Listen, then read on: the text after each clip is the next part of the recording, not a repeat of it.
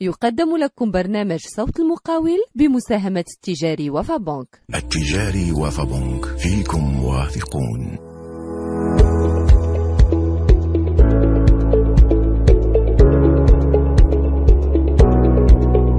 السلام عليكم آه، مستمعينا في ما كنتو سعيد بالتواصل معكم في هذه الحلقة الجديدة من برنامج صوت المقاول واللي غادي تكون الأخيرة في هذا الموسم الثاني من البرنامج.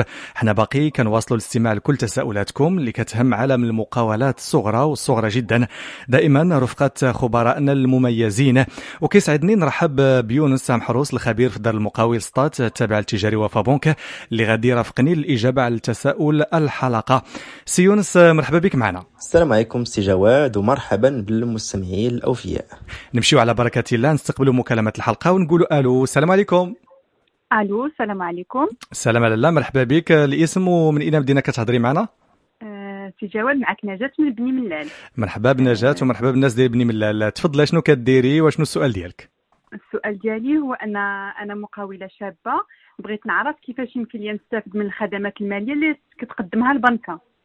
مرحبا. السؤال ديالك واضح. شكرا لك نجاة بني ملال. خليك معنا في الاستماع. اذا كيف ما سمعتي معنا سي أم حروس المتصلة نجاة بني ملال كتسائل وكتقول يعني هي مقاولة شابة والسؤال ديالها هو كيفاش تستافد من الخدمات المالية اللي كيقدمها البنك؟ شكرا على هذا السؤال استي جواد. وكيف ما كنعرفوا فالابناك كتقدم مجموعة من الخدمات المالية المقننة من طرف البنك المركزي أي بنك المغرب. هاد الخدمات غادي نقسموها لثلاثة الأجزاء الحساب البنكي وسائل الأداء والتمويل البنكي. ونبداو اولا بالحساب البنكي والترويج ديالو. وهنا ما فيها باس نذكروا بأنه كاين مجموعة من الحسابات البنكية على حساب الاستعمال يعني واش التسيير أو الادخار وعلى حساب كذلك مستعمل الحساب واش شركه واش تعاونيه واش تاجر والحسابات الأكثر استعمالا هما اولا الحساب الشخصي اللي كيخص المقاولين الشخصيين بحال المقاول اللي عندهم سجل تجاري اللي هو ال registre de commerce أو الأشخاص الذاتيين اللي هما les personnes physiques. أو لا كذلك المقاولين الذاتيين اللي عندهم بطاقة ديال المقاول الذاتي أو الأشخاص اللي كيزاولوا واحد النشاط يا إما تجاري أو حرفي. وهذا الحساب هذا تيكون بالاسم الشخصي للمقاول ويمكن كذلك إضافة الاسم أو العلامة التجارية في حالة توفر على الشهادة السلبية يعني certificat négatif وكاين ثانيا الحساب الجاري الخاص بالشركات اللي مديور الأشخاص المعنويين اللي هما les personnes morales. بحال على سبيل المثال الشركة ذات المسؤوليه المحدوده اللي هي SARL à responsabilité limitée. وباش نفتحوا هذا الحساب خاص الملف الإداري ديال الشركة اللي كيكون مكون من السجل التجاري القانون الأساسي الشهادة ديال التسجيل في الرسم الضريبي وصندوق الضمان الاجتماعي وحتى نسخة من الإعلان في الجريدة الرسمية. طيب سيونس آه، وشنا هي وسائل الأداء المتاحة؟ الجزء الثاني آه، من السؤال ديالكم استي جواد هو وسائل الأداء اللي البنك كيديرهم. راه الإشارة ديال المقاولين يعني بعد فتح الحساب خاصني باش نتعامل. وهنا كنتكلموا على وسائل الأداء المتوفرة اللي نقدر نستعملها. نبداو اولا بالشيك.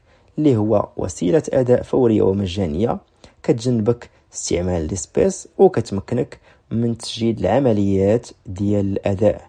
ولكن الشيك ما كيمكنش من تأجيل الأداء وكذلك عنده تبعات ديال عدم أداء الشيك.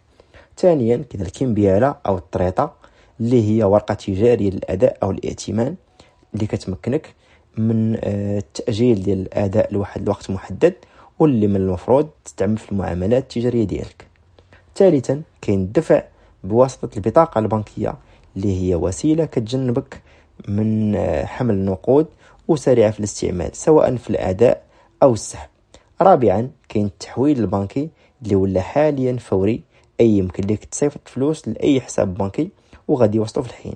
وكاين وسائل أخرى بحال القطاع البنكي. وجدير بالذكر أيضا أن الأبناك كيقدموا حلول أخرى متعلقة بالتأمين والاستثمار والادخار.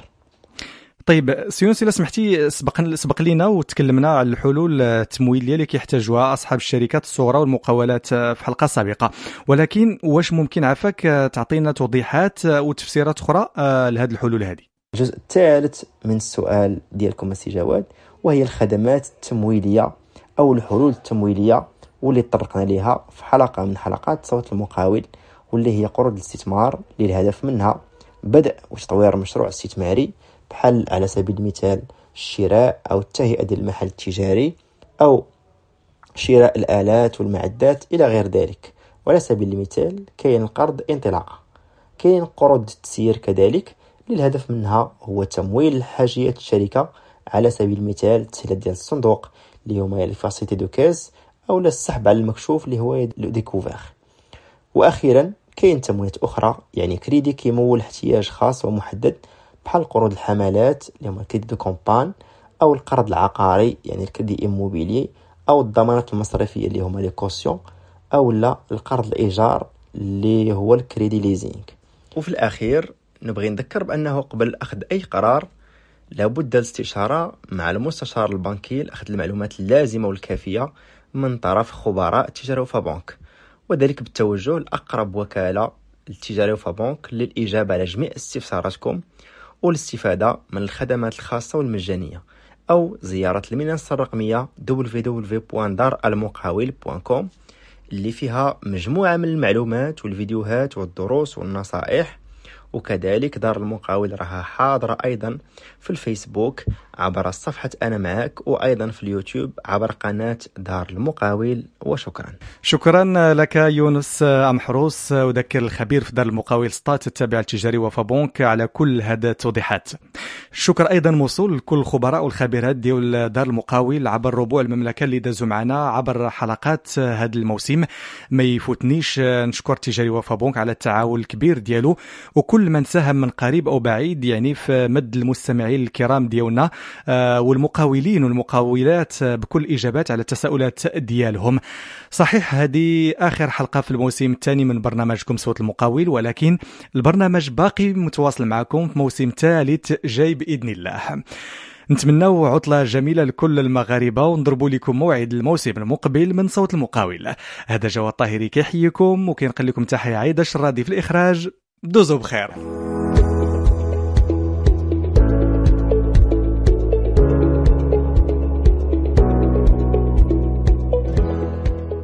يقدم لكم برنامج صوت المقاول بمساهمة التجاري وفابونك التجاري وفبنك فيكم واثقون.